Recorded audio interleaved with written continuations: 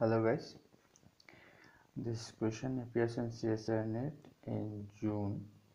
Suppose it is June in 16 is a question for FTNMR Fourier FTNMR or pulse technique in NMR okay what is the question is given here? In NMR spectrometer containing a 2.5 Tesla magnet Larmor frequency precession frequency is for proton is 100 mH. The radio frequency in this spectrometer has an associated magnetic field strength of 2.5 into 10 to the minus 4 Tesla. The duration of that 90 degree pulse in this instrument. That is, in this technique, what happened?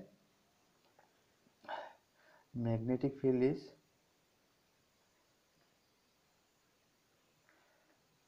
used for a few microsecond okay. In this FTNMR the, radio frequency whatever we use radio frequency is not continuous. It is used for a few microsecond in order to study the sample. Okay. So here the strength of the magnetic radio frequency equal to what b equal to 2 point for some microsecond. We are supposed to find out the pulse. That is the duration of the that excitation okay? So in this case Larmor frequency will be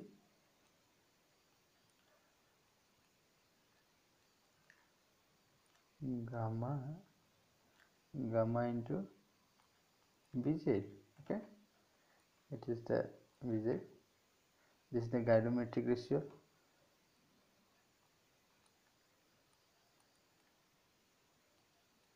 For proton. This is the gyromagnetic ratio for proton. This is the magnetic field. Okay and this value is 42.42.57 for proton megahertz per and what is the, the value of it is 2.10 to the power minus 4 tesla. Okay.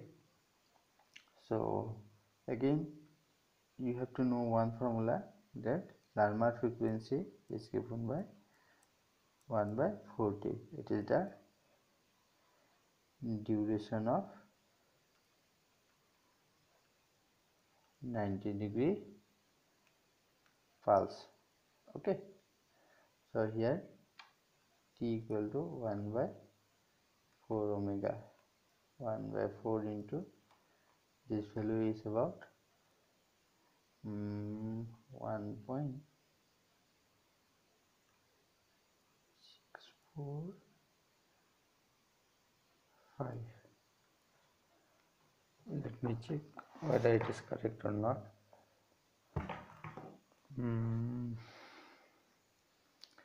642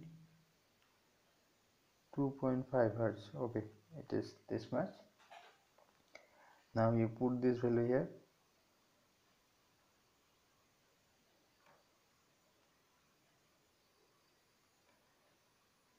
1.064.2 into 5 hertz. Okay.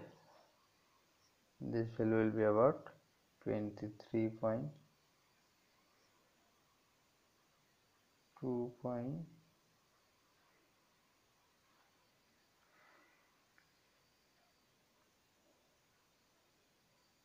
Three into ten to the minus six. It is about four second